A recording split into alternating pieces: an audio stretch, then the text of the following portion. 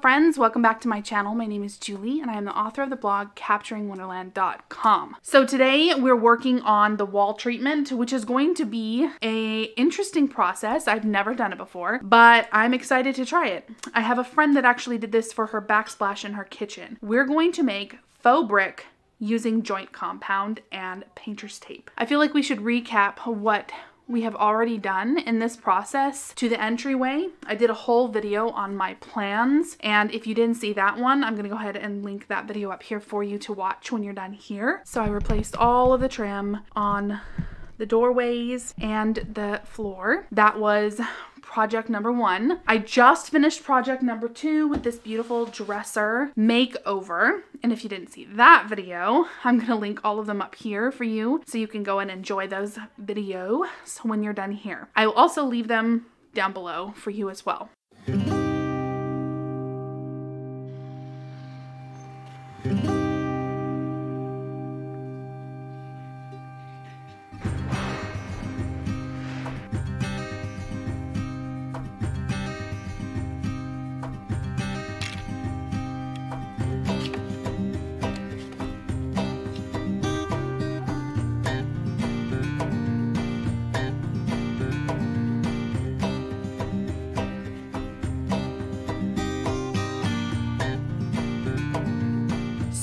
I have some painter's tape from Home Depot. This is going to be used. This is the, let's see, what size? 0.94 inches by 60 yards. This is just the regular kind you can find in the store. And I'm gonna use this to go around all of the trim, just so that I don't get joint compound all over my trim. I'm also gonna use it to tape off the transition here on the corner, because I don't want it going around to this side. So I'm gonna put a line down there, maybe on the ceiling. Haven't decided on that yet. Maybe not, probably not. That's my plan for the first step. The second step which is going to take me the longest, I have a feeling, out of all of this, is going to be taping off the fake bricks. For that, I chose to get the smallest tape I could find, which is 0.70.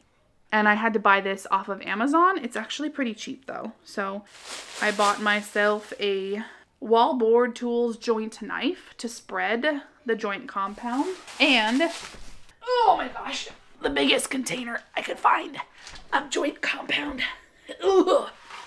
Is really big and it's really heavy, so I'm just gonna put that there because I have this wall and this wall. So I had a feeling I was going to use more than one of those little tubs. So I wasn't even going to bother with that. I'm going to link all of the supplies that I use down below for you. You can find them in Home Depot, probably in Lowe's, probably most of your local hardware stores, but I definitely could not find these. They don't carry this small of tape in store. So I had to order those from Amazon. So I'll definitely leave all those links down there for you as well if you want to tackle a project similar to this. okay, let's get started. I actually think I'm to start by caulking around all of my trim so that that is completely sealed. I won't have to worry about that process after I make the bricks. So now I need to go find my caulk gun. I went online and I looked up the size of the typical brick and standard US brick is 8 inches by 4 inches. And I thought that that was way too big for what I was going for. So then I went on to Home Depot and I looked up some of those faux bricks that are for backsplashes or for, they're basically tiles so you can use them pretty much anywhere. And the size was like seven and a quarter, I think, or seven and a half by two and three quarters. So that's what I made a little template here for myself. And this is gonna be kind of my gauge. So I'm gonna start at the ceiling and work my way down, making vertical lines and then horizontal lines because I am going to do the brick pattern, which is offsetting. So wish me luck. Let's start this process.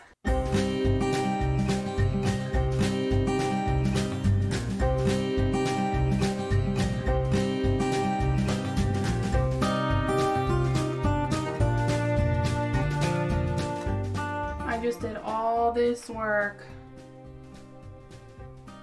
just to realize I was using the wrong size tape. I should have been using this one, which is much thinner than this one. And so now I have to completely undo all my work. Ugh. So I guess I will check in with you when I'm done tearing this entire wall apart. I grabbed that tape because I was gonna start taping around stuff and I don't know why my brain just switched to starting on the wall probably because I'm just so excited to get to it. I'm not excited now because now I have to redo everything. Oh my gosh.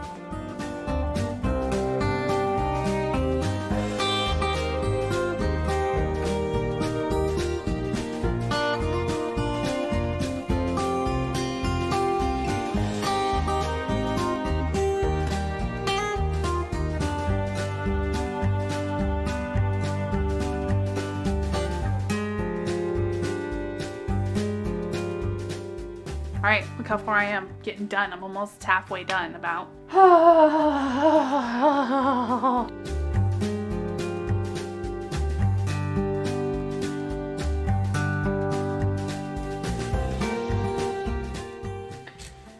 Now to start at the top and my battery is dying, so perfect time to switch. Woohoo!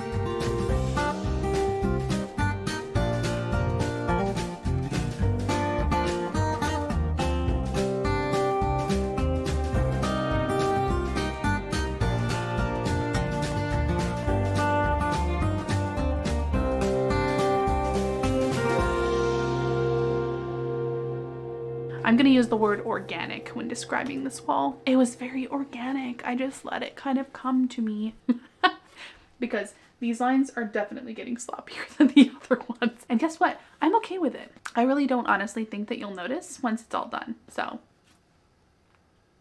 we shall see.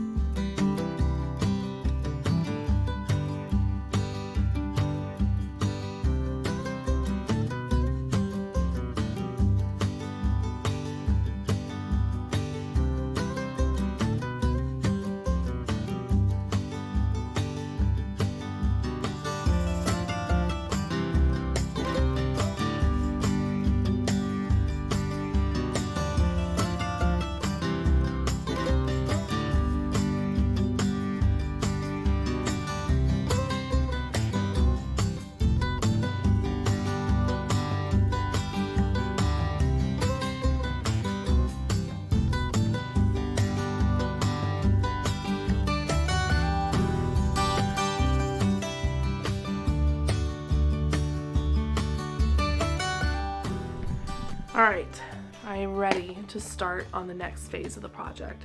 At least theoretically, I am ready. I seem to have some thing going on here, so my face is all swollen and I sound like poop. But, you know, we carry on.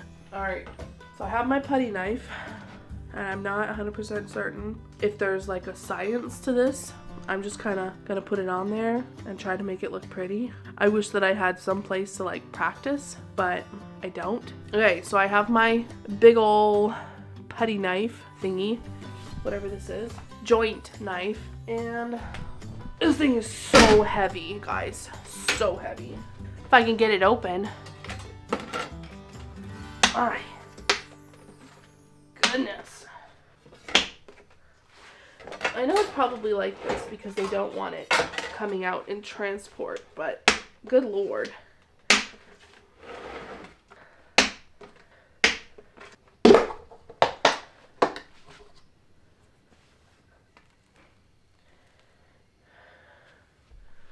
Okay, are you ready?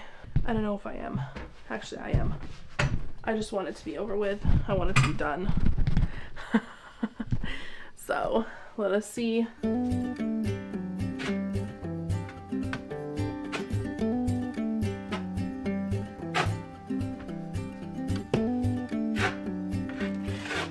I don't think you want it like super thick. You probably don't want it all over your fingers either. Goodness.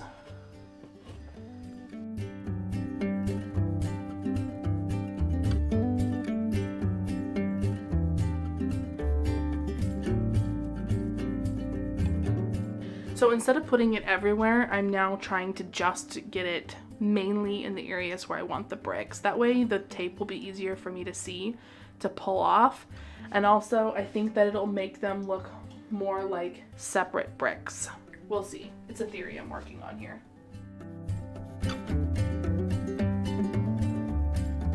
Kind of show you what I'm doing here up close is to try to give it a raised look on the front and the back. So I just kind of go in where the tape is and then let up, round it off, and then go back where the tape is, round it off.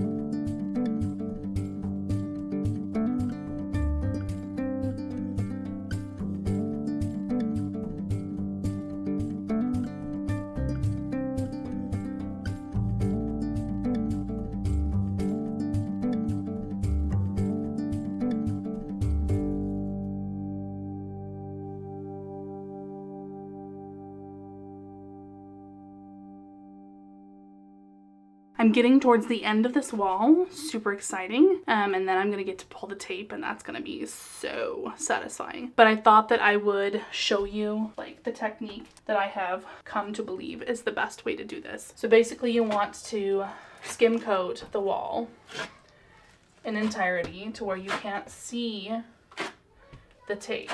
So do a section, just cover it. Make sure to get in to all the little holes here and then go back in where you know the tape is and scrape and then let up and kind of round it off. Scrape, let up and round it off. Scrape, let up and then round it off.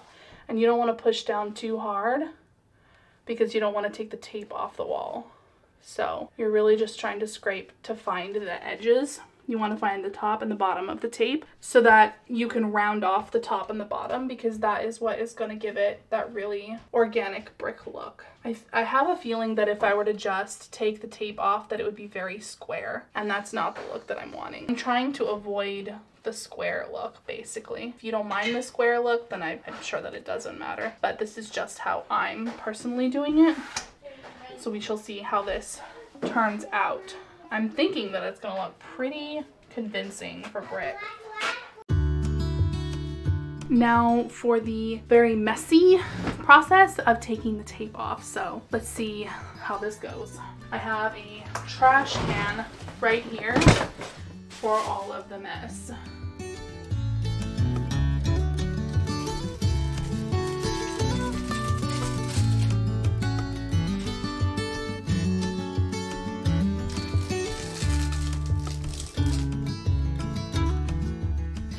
Comes off where it's going to, I guess. Definitely do not be wearing clothes that you care about in this process.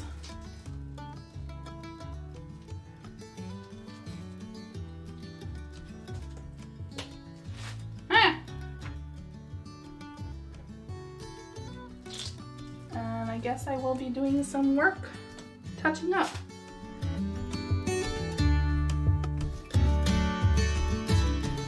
Goodness this is all water soluble, so it's okay if you do get it on yourself, it'll wash off. Again, this process would have been a lot easier if I'd have had a second person. uh, I think I could have made less of a mess. Maybe. It's turning out really nicely though. Maybe I should just give up on the idea of not making a mess of myself and just get it over with.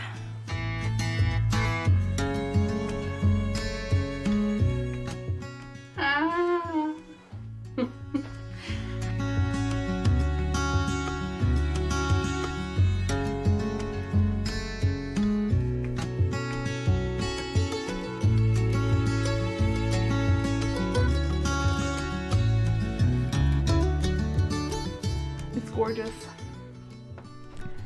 And I'm definitely, once I paint this, I could be fooled that it was brick. Yeah? You tell me what you think in the comments of this entire process. So what comes next? Well, I'm not entirely sure. I know that this is going to take a while to, to fully dry. I'm thinking it probably won't be fully dry until tomorrow. So chances are that this is going to be the end of the video for this project and I will show you the rest of what I do with this wall in the next video. So coming up, once it's dried, I'm going to probably paint it is what's next would be my assumption here. I may go in and do a little bit of detail work on it to try to round off some of these harsher corners, but I may not. I may just leave it. We'll see. You shall see in the next video. So that's basically what's coming up next. Painting this area, painting my daughter's bedroom, and I'm excited for that because paint is really what starts to tie everything together. And all of this is going to get painted. So everything. And then after that, the flooring is going to be next. I'm going to be painting my tile floor here in the entryway. And, and then I'm going to be working on this wardrobe to the side of me here. And then after that, it's basically just little things like installing the new light fixture that I have and the ceiling medallion. I'm really excited to get that up. And then just decor and the final touches, which is amazing. I mean, it's been a lot of work so far, obviously, but it's going by really quickly. So I love smaller spaces. They just give you those wins that you need. And yeah, so I'm really excited. I'm happy with what it how it turned out. You let me know in the comments what you think so far. And I'm excited to get it all finished so that I can see the final product and show it to you guys. And just reiterate that you don't need a huge budget. Like, guys, this cost me less than $50 to do, and it made a humongous impact on the wall. It, it made a huge impact for $50. This tub was like $20. The tape was like six. This was like nine, you know, like not a whole lot of money. So you can do amazing projects to bring charming character to your home and you don't have to spend a bunch. And it's not even that, like, if you don't have the money, yeah, sure, if you don't have the money, obviously. But even if you have the money, like, there's no reason to go out and spend hundreds or thousands of dollars on projects when you can easily just take a little bit of extra time and get it done in a creative way. Like, this process was actually really fun for me. It was kind of cathartic, this, the whole plastering it on there and trying to make it look like brick. Um, I enjoy that kind kind of stuff. So maybe you don't, I don't know. But the brick tiles that you can buy to put up on the wall are $75 a box. And then you also have to you and apply them with like mud. You have to apply them with mudding and then you have to grout in between them. So you're talking hundreds of dollars versus like less than 50. So anyway, thanks so much guys for watching all the way through. I am so happy that you are here sharing this with me and I can't wait to show you more. Like the video if you enjoyed this content and subscribe if you want to see some more. There's a lot more exciting projects going on in my home and I would love to share them all with you. So thanks again guys. I will see you in the next one. Bye.